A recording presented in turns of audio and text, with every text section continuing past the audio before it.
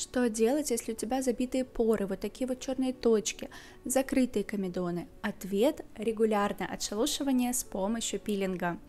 Ну и добавить в уход кислоты, конечно. Также можно добавить в уход формы ретиноидов по назначению врача. Пилинги можно использовать как энзимные, так и кислотные. Э, кислотные вводим обязательно постепенно, потому что кожа к ним не сразу адаптируется. И лучше не начинать со средств, в которых сразу несколько кислот в составе.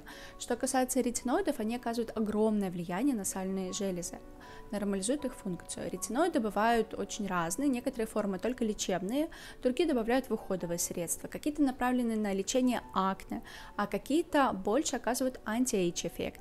Поэтому ретиноиды все-таки назначать вам должен специалист, в идеале врач-дерматолог. Что касается регулярных механических чисток, то они вообще не являются необходимыми при такой проблеме.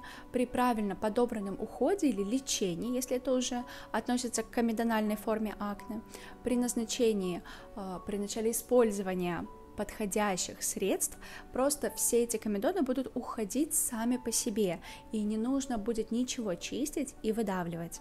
Подписывайся, у меня тут супер полезно. Но для онлайн-консультации запись директ.